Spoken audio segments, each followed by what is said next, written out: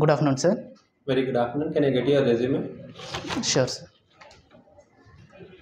Yes, Vijay. Can you introduce yourself? First of all, thanks for giving me this opportunity to introduce myself. I'm Vijay Kumar. I'm basically from Chennai, currently living in Hyderabad. I did my graduation BE Civil Engineering from Anna University in Chennai. Coming to my project, my project is the partial replacement by using cement replaced by the ceramic and fine, fine aggregate replaced by the iron slag. The main aim of the my project is the to reduce the cost level and produce the high level concrete. After Corona time, some financial problem. That's why I work with Hindustan Unilever Private Limited.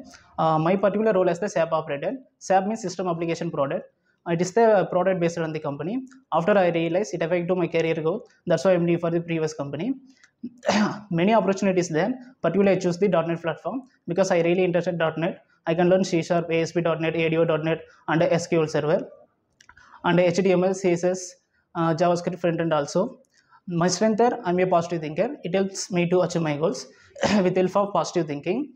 I can overcome the stress and i can easily adopt any type of environment. My short term goal is to get a job become financially independent so that i can support my family. My long term goal is achieve a good position where i can build my career with help of organization too. And my hobbies are listening music watching movies and traveling. That's all about me sir Okay, that's nice. Uh, now coming to technical, can I? What exactly C sharp is? uh, yes sir so C Sharp is the programming language. It is an object-oriented programming language. We can build the different kind of application like Windows application, web application, and uh, mobile application. Uh, Windows application there are three types there. One is the CUI and uh, GUI. CUI is the uh, character user interface, and GUI is the graphical user interface. Web application there are generally three types there. One is the client side and the server side and uh, database. Uh, client side is nothing but the HTML, CSS, and JavaScript and uh, server side we can use it for the c sharp asp.net ado.net python. Uh, we can write for the this code and the database nothing but uh, sql mysql oracle like that. Uh, mobile application we need for the internet uh, option uh, like uh, ios and android application that likes. Okay. Now what is abstract class? sir abstract is the basically keyword. Um, we can uh, abstract class is the partial implemented class and a non-partial implemented method. And the non-partial implemented method we can implement the derived class. Uh, we can special keyword we can use it for the override. Uh, we can also create for the reference object. Uh, we cannot achieve for the multiple inheritance. Okay. What is the interface? so interface is the keyword basically. Uh, first of all the non-implemented method we can implement the another class. We can achieve for the multiple inheritance in the interface. We can also uh, create for the reference object. Now what are value types and reference types and the data types?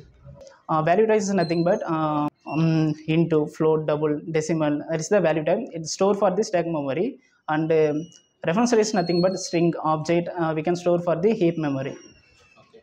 What are uh, what is ASP.NET?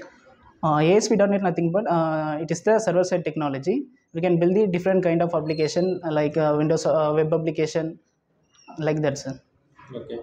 So what are the different validation controls under uh, ASP.NET? Yes, sir. Uh, there are six types is there. One is the required field validator, regular expression, uh, range validator, mm, validator uh, compare, uh, custom validator. These are sir we can use for. This the main properties is there. Control to validate and error message.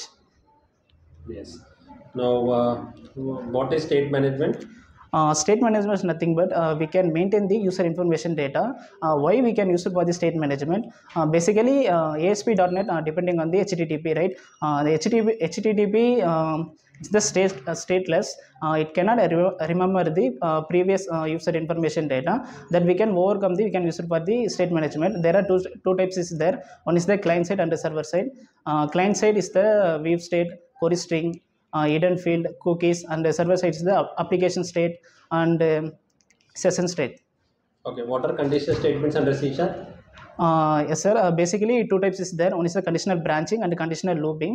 Uh, conditional branching is nothing but uh, if else and the switch condition. There are we can use it for the conditional branching and the conditional looping for the for loop, while loop, do while, and for each. Uh, for each we can use it for the array.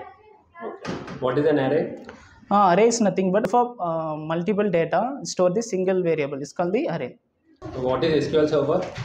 Uh, SQL Server is nothing but the structured query language. Uh, we can store the data from database. We can use and uh, it is the table format is give uh, like uh, rows and columns. We can easily uh, retrieve and manipulate and these are command is is there one is the dml command ddl command tcl dcl these are command we can use it for the sql server So what is a join? uh, join is nothing but we can retrieve the data from uh, two or more ta- uh, more tables uh, there are three types is there one is the inner join and uh, outer join outer join there are three types is there left outer right outer and full outer join and a cross join Okay. So store procedures. uh, store procedure is nothing but um, we can store the particular procedure uh, uh, file is called store procedure we can free compiler is called no need for the write again again the query. We can already pre-compiled it. We can use it for the anywhere.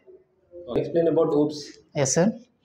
Uh, oops is nothing but object oriented program, programming language. There are four fundamental pillars is there. One is the abstraction encapsulation polymorphism and inheritance abstraction is nothing but we can hide the internal path and show the essential details. For example we can consider the atm machine. We can insert the card after enter the pin number. It generate the money right? The internal data is hidden. Uh, that's called abstraction. Uh, encapsulation is nothing but um, binding or wrapping the group of variable and methods uh, at a single container is called the encapsulation. Uh, polymorphism is nothing but uh, changing the behavior based on the input change and output also change. For example, we can consider the mobile phone. The single mobile phone, we can play the different role, right? We can listening music, watching movies, and call to one person to another person.